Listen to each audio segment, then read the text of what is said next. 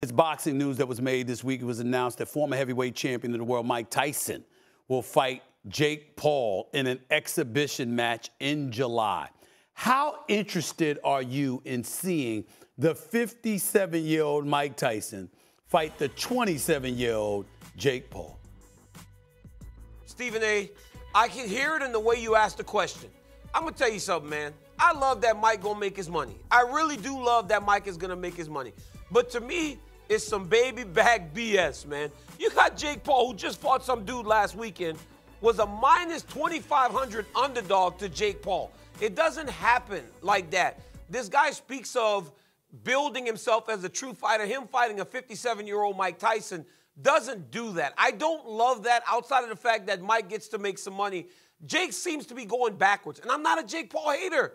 I just don't like the matchup. And I also love Mike Tyson.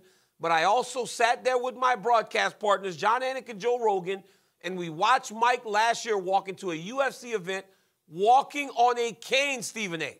And now you're telling me that this a man, cane? less than a year after, is going to fight. He walked in on he walked in with a cane, Stephen A. Oh, and I love Mike. He walked in with a cane, Stephen A. And now you're gonna fight Jake Paul? What are we doing? Well, really, I, I, we know what Mike Tyson's doing. What's Jake Paul doing? If he said if you saw him walk into the arena with a cane, Jake knew about it. I can tell you that much. I can tell you that much. Mm-hmm.